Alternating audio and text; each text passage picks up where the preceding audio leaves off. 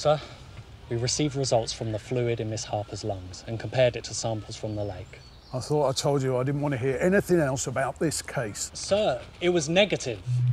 This proves that she was already dead before her car crashed into the lake. The water in her lungs has been traced back to a waterworks in Ashford, just a couple of miles from where Miss Harper's ex lives.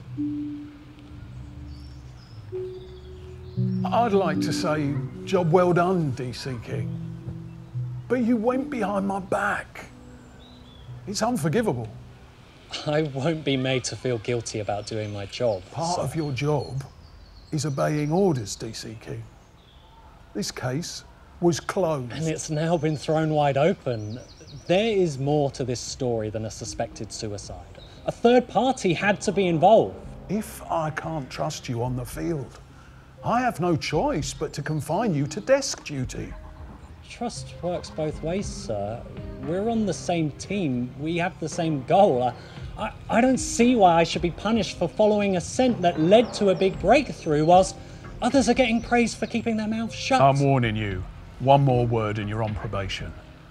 If you think I'm tough, wait till you feel the wrath from the powers above. They'll pick you apart piece by piece. No questions will go unanswered.